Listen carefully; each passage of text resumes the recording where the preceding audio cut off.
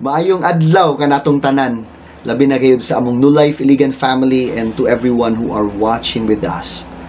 Daghan kitag plano na na-cancel karon na year and possibly maapil pa ang next year kung magpadayon pa gyud ni. But one thing's for sure, the plans, the purposes, and the will of God for our lives, it will surely come to pass mga kaigsunan. Wala joy makababag niya na.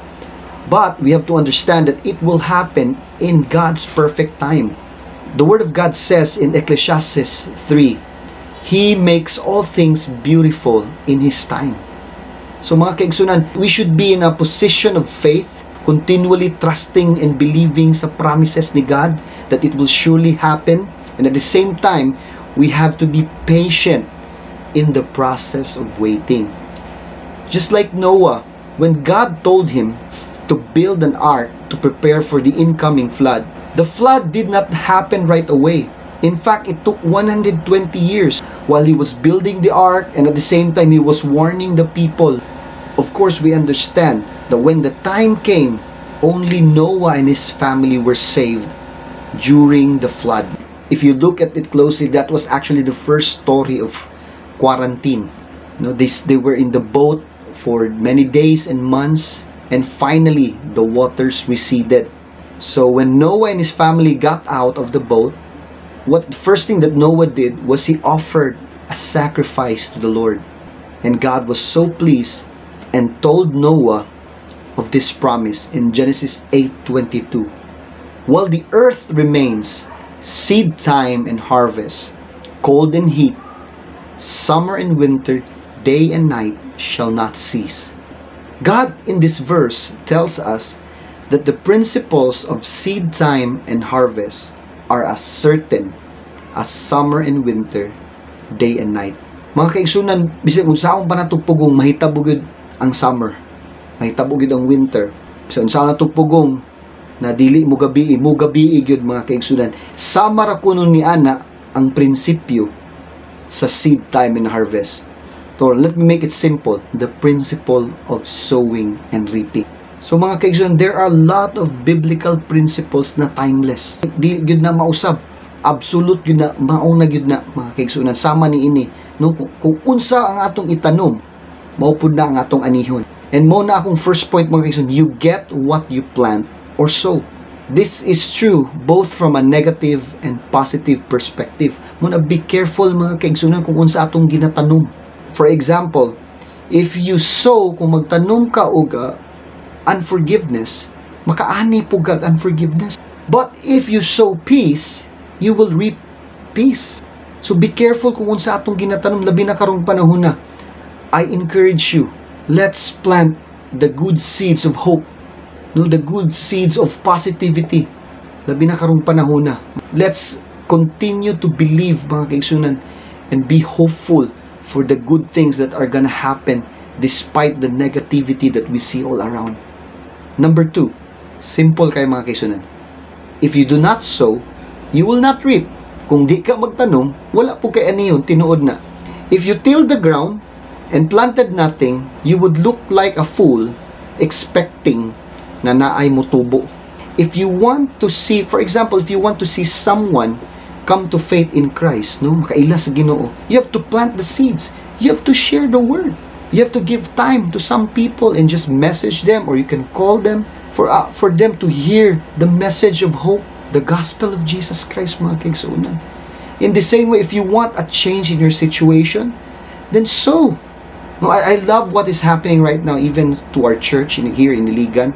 When the pandemic happened, a lot of our members lost their jobs. But it did not cost them to be discouraged and disheartened, no? Naluya sila, wa na sila. It did not cause them na magtanga na lang. But it caused them to be what? To sow in other areas of their lives, no? They sowed their time and effort and energy in learning new skills. For example, kasagaran sa ila, nag-online job mga kaigsunan. There's a lot of things. That's why in this quarantine, let me encourage you, do not just waste your time scrolling through social media or whatever learn new skills. So, whatever you are sowing, I'm pretty sure you will reap it in His time. Again, if you want a change in your situation, sow something. Number three, You can reap a good harvest if you stay, work hard, and persevere in the process. In this life, there are no shortcuts. That's what I always hear from our beloved senior pastor, Pastor Paul Chase. He always said that there are no shortcuts, whether in ministry, in job, in schooling, in life. No, walay niskwila ka o kindergarten, then ugma college na ka. Wala, mga kaigsunan. Wala, nag-start kag business, then ugma bilyonaryo na ka, no? It takes time. And not just time, it takes work. Not just work, hard work. Kailangan singtan na nimo mga kaigsunan, no? Dili na pwede, no? Dili ta spoiled brat sa ginoo. No, God will give us wisdom. God will give us strength. And understand this, the grace of God will not cause you to be lazy. But the grace of God will cause you to be hardworking and diligent. Just like Paul, Paul said, Because of the grace of God, I labor more than you all. The grace of God will cause you to persevere, to work harder, mga kaigsunan. So important. In the process do dili pwede na nag nag nag uh, till ka sa ground then nagtanom kag sini pasagdan no. You have to check it out every day you have to water it you have to take out the weeds that are starting to sprout. You have to really be intentional about it. I believe in this pandemic if you are suffering financially god will give you opportunities and the wisdom on how to access or gain wealth mga kigsunan in this modern age where everything is now muni kulba no? We don't have time to wait. We want what we want and we want it now. But again there are no shortcuts. Number four you reap in a different season as you sow. This is very true mga kigsunan no not necessarily because you planted today tomorrow you will immediately eat of the fruit of what you planted. No there is time between planting and harvesting. It takes time for what you plant in your garden to become something you can eat. This same principle is true with spiritual planting. What you are reaping today was planted some time ago. No, kung unsa kuno na imong gikaon karon, unsa na imong naanit today is actually a result of what you planted years ago or months ago. And what you are planting today, you will reap sometime in the future mga mga kaigsunan, you need patience. You need this faith and this patience and the perseverance to wait for God's timing, to wait for harvest. And lastly, number five, you reap in proportion to what you have sown. So kung unsa kuno kadaghan ang imong gitanom, mo pud na ang imong madawat. Same is true of our harvest. If you want to see a large harvest in your life, both physically financially or spiritually, then so accordingly, no? Dili mamakak ang word ni God, no? It says in 2 Corinthians 9:6. The point is this, whoever sows sparingly will also reap sparingly, and whoever sows bountifully will also reap bountifully. Kung kinsa kuno tong magtanom og dinaghan, makaani pog dinaghan. Kung kinsa pud nagtanom og ginagmay, ginagmay pud yang maani. The Word of God says in Galatians 6 7 to 8, Do not be deceived. God is not mocked. For whatever one sows, that he will reap. For the one who sows to his own flesh will from the flesh reap corruption. But the one who sows to the Spirit will from the Spirit reap eternal life.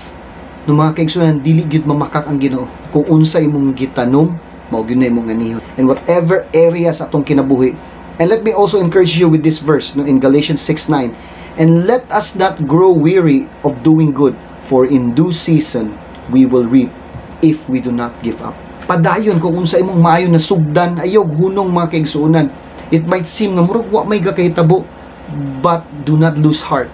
In due season, you will reap the harvest. Now, going back to the principle of seed time and harvest, seed time and harvest. Kailangan ng seed, ang time, no, ang process, and then the harvest.